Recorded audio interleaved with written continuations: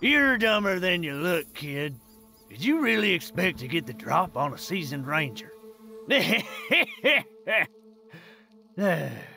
Either way, I'm not here to talk. Close your eyes, kid. I'll make it quick.